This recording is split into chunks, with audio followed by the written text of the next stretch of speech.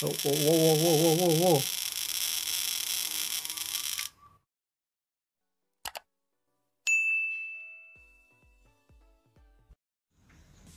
Assalamualaikum jumpa lagi dengan channel Jody Teknik Oke pada kesempatan kali ini saya ada servisan TV merek Votre 14 in Oke TV ini katanya mati total ya apakah benar? Sekarang mau saya cek saya colokin dulu.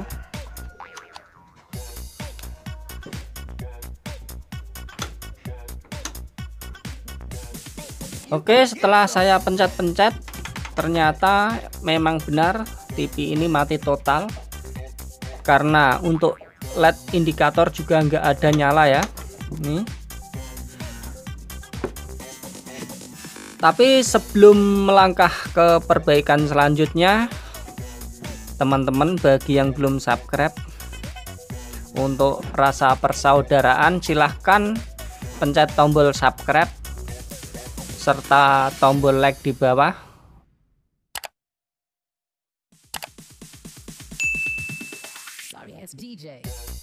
Tapi sebelumnya bagi yang sudah subscribe saya ucapkan banyak terima kasih Oke sekarang TV ini mau saya bongkar dulu.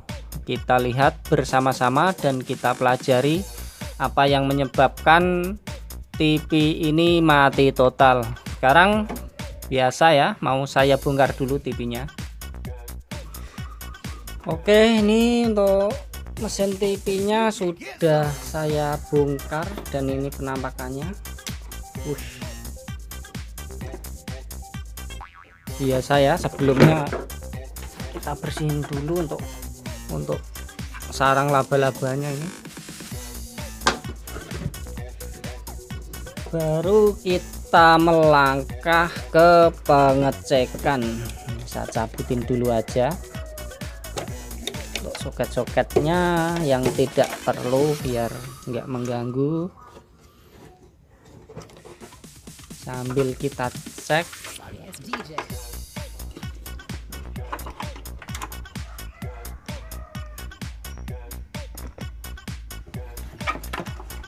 kelihatan sekali ini untuk fuse-nya juga sudah putus ini ya. Nah ini kelihatan. Oke untuk cara mengatasi mesin yang mati total seperti ini jangan langsung dicolokin ya. Untuk caranya sendiri kita ada alternatif agar tidak merembet lebih parah. Ini caranya. Ini untuk fuse mau saya ganti dengan bolam 100 watt dulu ya biar aman. Ataupun MCB di KWH kita tidak nyepret. Ini mau saya ganti dengan bolam 100 watt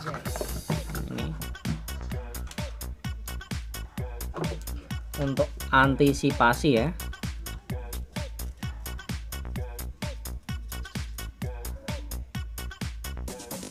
Ini caranya untuk memperbaiki di area regulatornya dulu. Oke selanjutnya yang kedua kita open B plus yang di jalur playbacknya ya. Ini RPUS B plus ini harus kita open yang mengarah ke jalur playbacknya ya. Untuk antisipasi supaya jika ada masalah yang lain tidak merembet ke mana-mana atau aman ya. Di sini bebas. Bebas ya opennya. Di sini bisa di sini juga bisa yang penting kita open dulu. Oke ini RPU sudah saya open. Nah untuk langkah selanjutnya kita langsung melakukan pengecekan untuk probo hitam ditancapnya di ground CRT biasa ya. Untuk yang merah kita untuk mengetes di B plusnya apakah kerusakan hanya sekring yang putus atau di regulator komponen-komponen yang lain? Oke ini probo merah ditempelin di bagian B plusnya kemudian sambil kita perhatikan untuk avometer dan lampu bolamnya kemudian ini mau saya colokin ya perhatikan.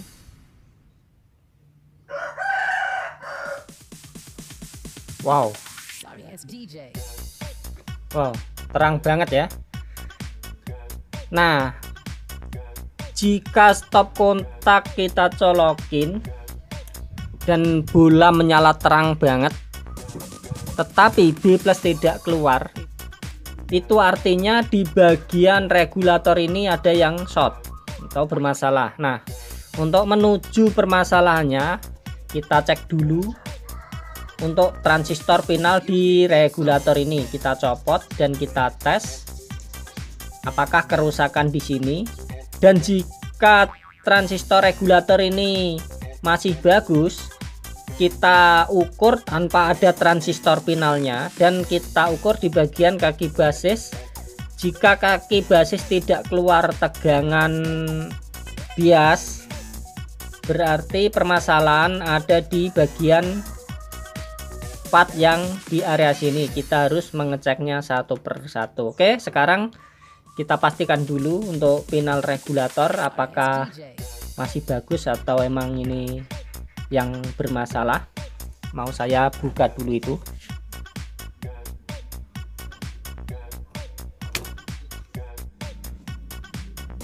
Oke untuk transistor sudah saya cabut ya. Transistor ini dengan seri DD5011 Oke sebelum melangkah ke pengecekan ini kita pastikan kita tes dulu yang ini ya untuk di area regulator ini. Tetapi sebelum steker kita colokkan terlebih dahulu ini untuk dioda yang di sini ya dioda penyearah harus kita tes dulu dipastikan benar-benar masih normal. Tapi sebelum kita melangkah pegang-pegang di sini yang perlu kita waspadai untuk elko ini biasanya masih menyimpan tegangan tinggi bagi yang belum tahu. Harus disotkan dulu elko nya pakai obeng ataupun bisa pakai steker solder ya. Kita shotkan. Biasanya ada percikan api di sini. Itu baru kita boleh pegang-pegang karena ini bisa bikin kaget karena masih menyimpan tegangan tinggi oke langkah yang selanjutnya langsung saja kita lakukan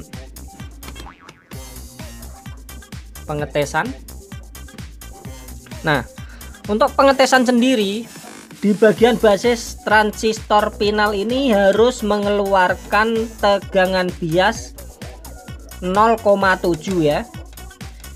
Tapi jika tidak ada tegangan ataupun tegangan melebihi dari itu, berarti kita lanjut lagi perbaikan di area regulator yang di part sebelah sini. Biasanya ada transistor ada resistor dioda dan segala macam. Harus kita oprek di area sini. Di kaki basis ini tanpa dipasangin transistornya harus ada tegangan 0,7 ya. Tegangan biasnya. Oke langsung saja kita cek perhatikan untuk avometer dan lampu bolam yang hitam di ground dan yang merah di sini di kaki basis. Sini ya ini caranya ini perhatikan. Dan kemudian kita colok stekernya ke stop kontak. Perhatikan untuk lampu bulam dan avometernya. Nah bulam tidak menyala dan tegangan bias di kaki basis 0,6 ya. Berarti ini normal oke setelah ketahuan ini normal lanjut kita pastikan apakah memang benar transistor ini yang short atau bermasalah. Langsung saja kita tes.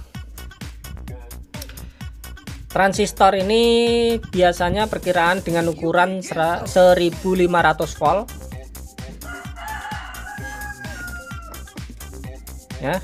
Jenisnya NPN oke sekarang kita tes. Biasa untuk cara mengetes transistor. Nah lampu menyala dan menunjukkan oke ini lampu menyala. Dan di sini lampu menyala juga ini lampu menyala dan lampu menyala. Kita bolak-balik juga begitu ya. Menunjukkan nilai 0 dan lampu menyala. Berarti dipastikan untuk transistor ini rusak. Oke karena ini transistornya jenisnya kecil dan saya tidak punya stok saya ganti saja transistor regulator yang tipe dengan seri C5387 ini juga sama sekitar 1500 volt. Oke, sekarang kita tes yang ini. Nah ini ini tidak menunjukkan nilai. Tidak menunjukkan nilai 0 Oke sekarang kita balik. Nah yang ini baru menunjukkan nilai ya.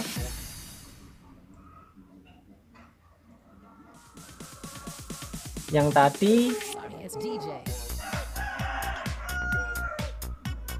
yang tadi menunjukkan nilai 0 dan indikator menyala berarti yang tadi short. Oke langsung saja ini saya pasang di tempatnya di sini ya.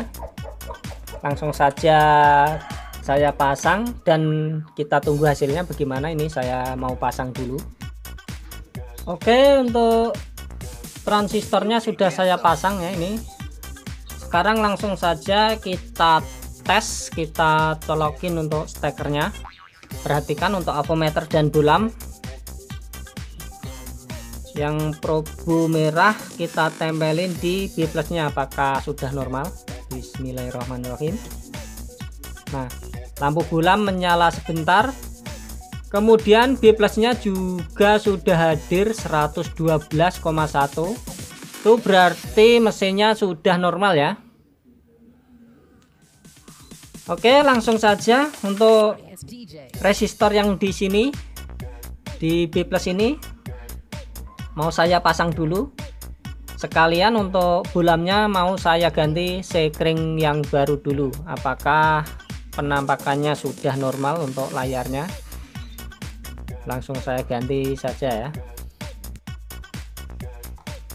Oke, resistor yang ini sudah saya sambung dan sekarang langsung saja saya hidupin mesinnya bagaimana penampakan dan hasilnya oh, oh, oh, waduh waduh nah ternyata masih ada kendala lain ya teman-teman. Sekarang mau saya cek dulu ini apanya yang bermasalah lagi. Oke setelah saya cek dan recheck dan saya teliti ternyata tabung di sini ada kebocoran ya. Berarti tabungnya ini juga sudah tidak layak pakai alias sudah pensiun karena yang diakibatkan di sini ada tembus bocor. Jadi untuk tabung nyalanya tidak normal. Oke ya kayak begini ada rasa sedih ada rasa senang ada rasa keberhasilan itulah liku-liku teknisi. Yang pasti untuk mesin sudah normal ya sudah saya cek tegangan semua sudah saya ukur mesinnya sudah normal ini juga sudah biasa dan jadi pembelajaran untuk kawan-kawan semuanya oke? Okay? saya kira sudah jelas walaupun belum berhasil. Tetapi ini juga dijadikan pengalaman. Terima kasih dan ikutin terus tutorial dari saya. Semoga bermanfaat. Dan cukup sampai di sini dulu. Terima kasih dan wassalam